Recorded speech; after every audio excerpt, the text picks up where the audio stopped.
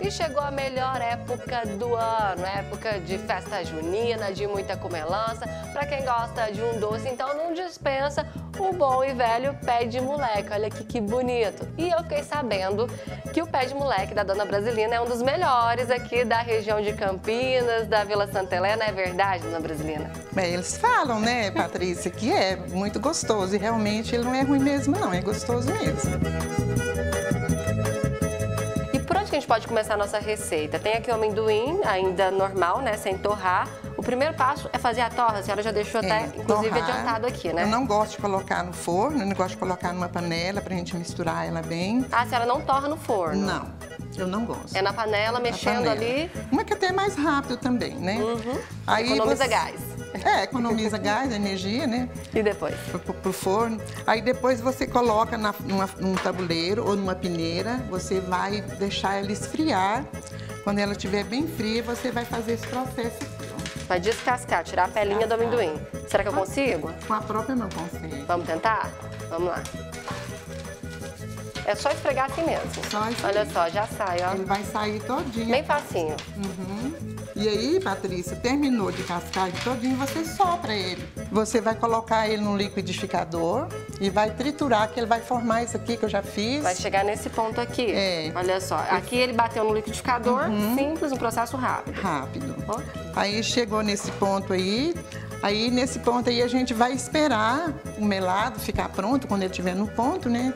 A gente passa o... A, Tá, a rapadura vai pro fogo com um pouquinho de água ali água. poder derreter É, e chegar no e a rapadura é essa aqui, né? Uma rapadura boa, né? Tem que ser uma rapadura boa, não precisa ser nova, pode ser até uma rapadura do ano passado, né? Uhum. Porque todo ano faz rapadura. Então a gente vai esperar agora a rapadura derreter pra gente É. fazer o nosso e não prato. vai demorar, não vai demorar mais. Dona Brasilina, aqui a senhora estava me dizendo que precisa de uma panela maiorzinha, por quê? É porque quando ele vai chegando o ponto, ele sobe. Aí você tem que ficar mexendo, mas para você não, não ficar sempre mexendo, põe numa panela maior. Pra não derramar é, pra não derramar, né? Porque senão faz toda a sujeira. E aqui a gente tem que esperar chegar em que ponto? Porque a gente vê que tá bem aguado, né, É, ainda. quando ele está no ponto, você vai pegar uma água, um prato, né? E vai colocar um pouco dentro do prato. Se você conseguir pegar o, o- a puxa, Uhum. né? Não sei se vocês entendem o que é puxa. Aí vai pegar o meladinho juntinho lá na, lá na vasilha com a água. Aí você já está no ponto. A gente vai mostrar agora então o que é a puxa, pra todo mundo Hum, entender. certo, gente? Vamos esperar um pouquinho. E aí, dona Brasilina, a gente desligou aqui, como é que a gente vai saber o ponto? Porque ele já está no ponto, né? E o ponto, eu só vou descobrir que ele está no ponto bom, Patrícia, porque é isso aqui, ó. Colocou numa vasilhinha Coloquei com numa água. vasilhinha com água. Você vai mexer aqui, ó. Ah, olha só, Olha. essa é a puxa. É, essa é a puxa.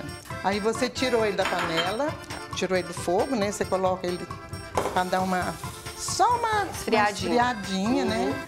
Aí você vai colocar o, o- o amendoim torrado Já vai misturar. e vai bater. Você bate até ele formar, ele começar a, a encorpar, Uhum. começar a endurecer. E esse aqui eu coloquei duas chávenas de, de amendoim, que seria 250 gramas, Uhum. né? Aí eu vou colocar ele aqui e vou bater. Misturar, misturando e batendo. Nossa, que cheirinho bom. E quando ele estiver no ponto, eu vou colocar né, na vasilha para cortar. Bem trituradinho mesmo, né? É, tá vendo como é que fica? Tem gente que deixa uns pedacinhos maiores, É. tem problema não? Tem não. Não tem não, é, né? Vai do gosto a da gosto, pessoa. É. Uhum. Do jeito que a pessoa gostar. A pessoa gosta dele com um pedacinho de amendoim, tudo bem. Senão, eu gosto dele tritu- Triturado trituradinho, mesmo. assim. Uhum. Bom untar por quê? Porque senão vai, vai grudar todo É. doce? Isso. Eu vou untar isso aqui, porque quando colocar o doce aqui, ele vai, ele vai firmar. Aí eu vou fazer o quê? Eu vou cortar ele. Ele não vai, ele não vai grudar na, na vasilha, né? Não pode esperar muito pra cortar não, dona Brasileira? Não, aí fica muito. Aí, aí Muito depois. duro, né? é, Melhor cortar e deixar É, firmar é. ali, né? Então, vamos saborear, ver se tá... Bora lá, me acompanha. Ver se tá gostoso. Vou pegar um pedacinho aqui. Tá quentinho ainda, gente. É muito bom.